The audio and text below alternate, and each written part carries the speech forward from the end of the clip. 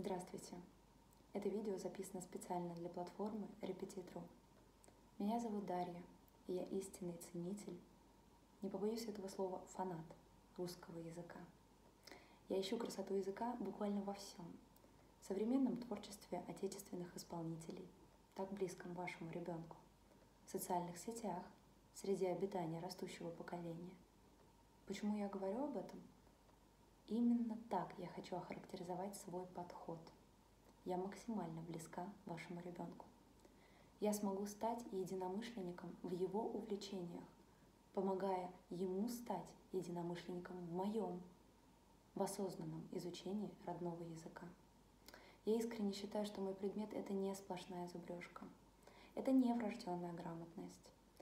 Это четкие алгоритмы, которые нужно прочувствовать не только головой, но и душой. И тогда все получится.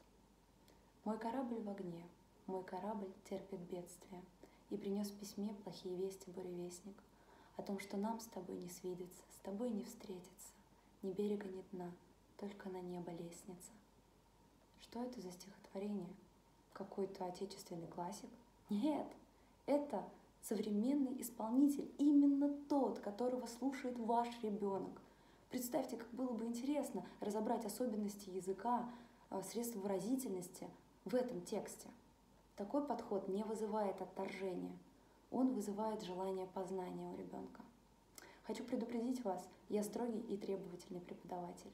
И несмотря на то, что я искренне постараюсь стать другом вашему ребенку, я не потерплю недобросовестного отношения к предмету.